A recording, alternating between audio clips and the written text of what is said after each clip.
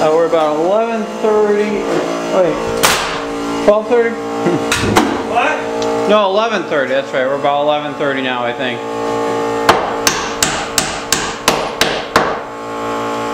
I think you must have gotten here about 8:30,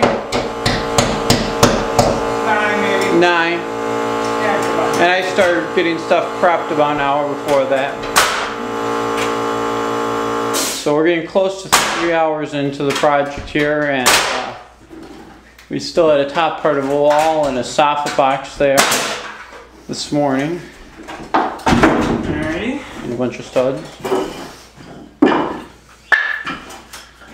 That'd be it. That's the inside framing. What? That's all the inside framing we do. It. Hey, Uh, you don't use a double 2x4 underneath it?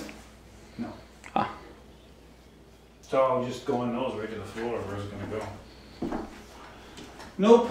No need. No need. No need to deed.